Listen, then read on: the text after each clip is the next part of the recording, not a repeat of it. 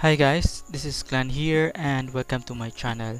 In this video, I'm gonna show you how to fix your OBS that failed to start recording because your current video card driver does not support this NVENC version. So in this case, all you have to do is to upgrade your video card.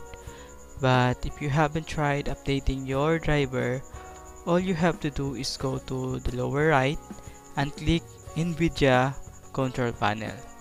Of course, this is not NVIDIA if you are using AMD.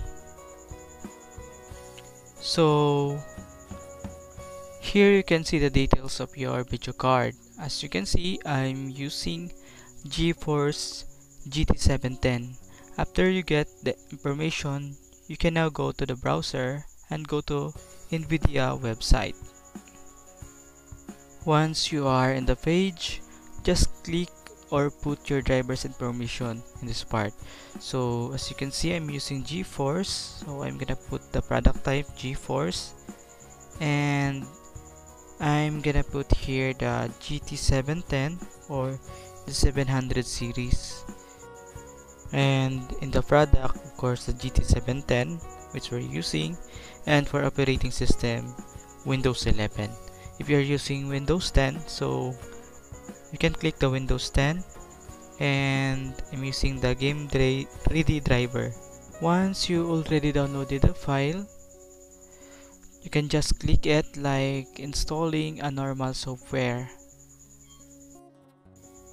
So it may take at least 5 to 10 minutes during the installation. Of course you should choose wherever storage or location in your PC you put that software. So after that installation in this part just click agree and continue and choose the recommended. So this may take also 3 to 5 minutes depend on your computer. And once you already install this just click close and as you can see there's a GeForce experience or an icon here.